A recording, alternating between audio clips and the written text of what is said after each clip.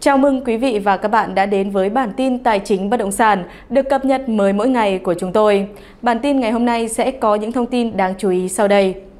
Ông Nguyễn Dân Chiến, cựu bí thư tỉnh ủy Bắc Ninh bị bắt với cáo buộc nhận hối lộ trong vụ án sai phạm liên quan AIC. Ngày 24 tháng 1, ông Chiến, 64 tuổi, bị cơ quan cảnh sát điều tra Bộ Công an C03 tạm giam để điều tra tội nhận hối lộ. Người phát ngôn Bộ Công an, Trung tướng Tô Ân Sô cho biết Động thái này được đưa ra khi C03 mở rộng điều tra vụ án tại Ban Quản lý Dự án Công trình Xây dựng Y tế thuộc Sở Y tế tỉnh Bắc Ninh, Công ty Cổ phần Tiến bộ Quốc tế AIC và các đơn vị liên quan. Hành vi sai phạm cụ thể của ông Chiến chưa được công bố. Năm ngày trước, hàng loạt cán bộ từng là cấp dưới của ông Chiến đã bị bắt, trong đó ông Nguyễn Tử Quỳnh, cựu chủ tịch Ủy ban nhân dân tỉnh và ông Nguyễn Hành Chung, cựu giám đốc Sở Y tế Bắc Ninh, hiện là phó chủ tịch Hội đồng nhân dân tỉnh Bắc Ninh, bị cáo buộc về tội danh. Ông Nguyễn Tiến Nhường, cựu phó chủ tịch Ủy ban nhân dân tỉnh Bắc Ninh bị cáo buộc lợi dụng chức vụ quyền hạn trong khi thi hành công vụ. Riêng bà Nguyễn Thị Thanh Nhàn, chủ tịch AIC tiếp tục bị khởi tố tội đưa hối lộ. Trong vụ án thứ năm, ông Nguyễn Nhân Chiến xuất phát từ cán bộ đoàn, sau đó làm bí thư tỉnh đoàn, rồi trưởng ban tuyên giáo tỉnh ủy, phó chủ tịch thường trực Ủy ban nhân dân tỉnh. Năm 2011, ông làm chủ tịch Ủy ban nhân dân tỉnh, trúng cử đại biểu Quốc hội khóa 14. Đến tháng 2 2015, Ông Chiến được bầu giữ chức Bí thư tỉnh ủy, Chủ tịch Hội đồng nhân dân tỉnh cho đến khi nghỉ hưu vào cuối năm 2021. Trong thời gian đương chức, ông Chiến vướng nhiều lùm xùm khi bổ nhiệm nhiều người thân, họ hàng làm lãnh đạo ở các địa phương thuộc mình quản lý.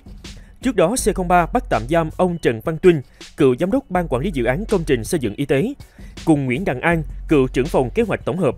Nguyễn Kim Huân, cựu phó phòng và bốn người khác tại AIC công ty thẩm định giá BTC Value, công ty Sông Hồng để điều tra về tội vi phạm quy định về đấu thầu gây hậu quả nghiêm trọng. Hơn 2 năm qua, AIC liên tiếp bị điều tra các sai phạm về vi phạm đấu thầu ở các đơn vị địa phương. Mới đây nhất, cuối tháng 12 2023, nhiều lãnh đạo, cán bộ AIC bị cáo buộc có sai phạm trong vụ án xảy ra tại Trung tâm ứng cứu khẩn cấp máy tính Việt Nam VNSET, Bộ Thông tin và Truyền thông.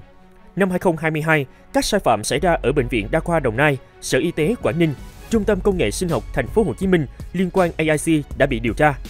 Chủ tịch AIC Nguyễn Thị Thanh Nhàn bị cáo buộc sai phạm trong 5 vụ án nhưng đã bỏ trốn, bị phát lệnh truy nã quốc tế, bị xét xử vắng mặt tại một số vụ án.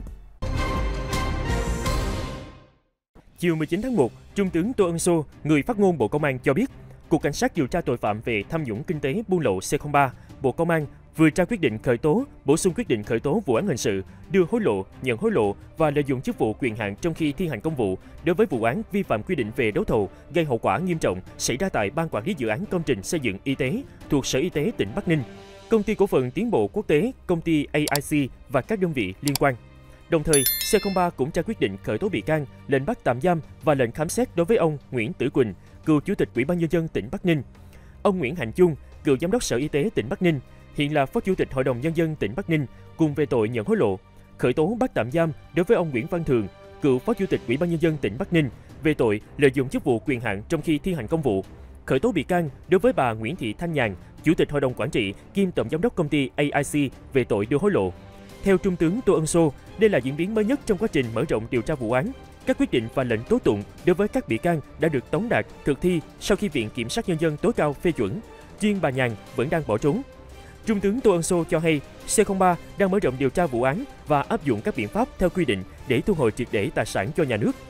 Liên quan vụ án này, trước đó, C03 đã khởi tố bắt tạm giam 7 bị can về tội vi phạm quy định về đấu thầu gây hậu quả nghiêm trọng. Các bị can gồm Trần Văn Tuân, cựu giám đốc ban quản lý dự án công trình xây dựng y tế, Nguyễn Đăng An, cựu trưởng phòng kế hoạch tổng hợp, ban quản lý dự án công trình xây dựng y tế, Nguyễn Kim Huân, cựu phó trưởng phòng kế hoạch tổng hợp, ban quản lý dự án công trình xây dựng y tế, Nguyễn Viết Toản, cựu nhân viên công ty AIC, Nguyễn Đăng Ninh, cựu nhân viên công ty AIC, Đặng Xuân Minh, cựu chủ tịch hội đồng quản trị, tổng giám đốc công ty cổ phần thẩm định giá BTC Value và Nguyễn Hồng Sơn, phó tổng giám đốc công ty AIC.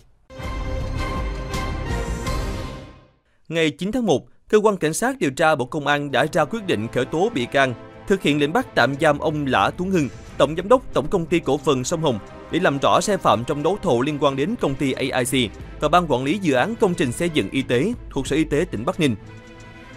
Ông Hương bị điều tra về tội vi phạm quy định về đấu thầu gây hậu quả nghiêm trọng. Sau khi Viện Kiểm sát Nhân dân tối cao phê chuẩn các quyết định và lệnh tố tụng trên, cơ quan điều tra đã thực hiện khám xét nơi ở, nơi làm việc của Tổng Giám đốc Tổng Công ty Cổ phần Sông Hồng.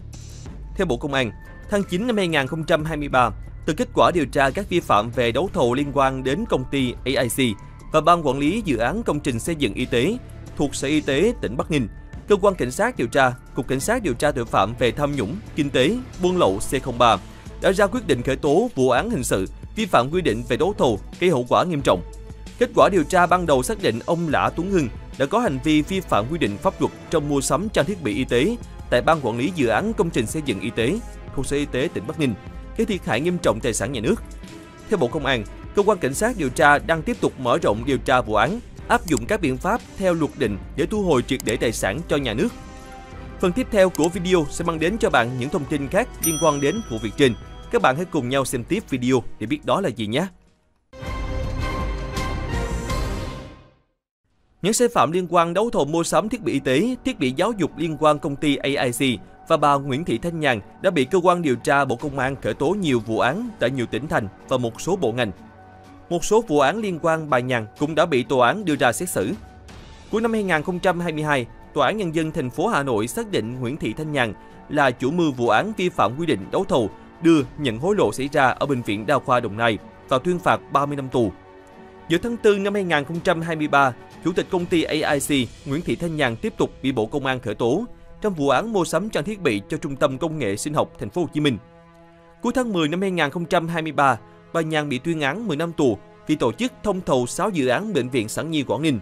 Mới đây, cuối tháng 12 năm 2023, cơ quan điều tra khởi tố vụ án vi phạm quy định về đấu thầu gây hậu quả nghiêm trọng xảy ra tại Trung tâm ứng cứu khẩn cấp máy tính Việt Nam, gọi tắt là VNC, thuộc Bộ Thông tin và Truyền thông và công ty cổ phần tiến bộ quốc tế AIC. Cơ quan điều tra tiếp tục khởi tố bà Nhàn, bắt tạm giam ông Nguyễn Trọng Đường, Phó vụ trưởng Bộ Kế hoạch Tài chính, Bộ Thông tin và Truyền thông và ông Ngô Quang Huy, Phó Chánh Văn phòng Bộ. Xung quanh vụ việc trên, chúng tôi đã sản xuất nhiều video liên quan. Nội dung chi tiết được đính kèm ở phần mô tả và cuối video này. Quý vị và các bạn hãy nhấn vào đường link để biết thêm nhé. Thời gian tới, Cà phê Lên TV sẽ triển khai nhiều video hấp dẫn về hỏi đáp từ hội viên, series kiến thức bất động sản, review khu vực hay dự án theo yêu cầu từ hội viên, tin nóng về hạ tầng. Những video này chỉ dành riêng cho hội viên của kênh Cà phê Lên TV. Trân trọng mời các bạn đăng ký trở thành hội viên ngay hôm nay để chúng tôi có động lực phát triển nhiều video hay và bổ ích hơn nữa. Thông tin vừa rồi cũng đã khép lại bản tin ngày hôm nay của chúng tôi. Nếu có bất kỳ thắc mắc hay góp ý nào, quý khán giả có thể comment vào phía dưới video này và đừng quên nhấn nút like, share và subscribe kênh của chúng tôi. Chúng tôi rất mong nhận được sự ủng hộ và đồng hành của quý khán giả. Xin chào và hẹn gặp lại trong những chương trình lần sau.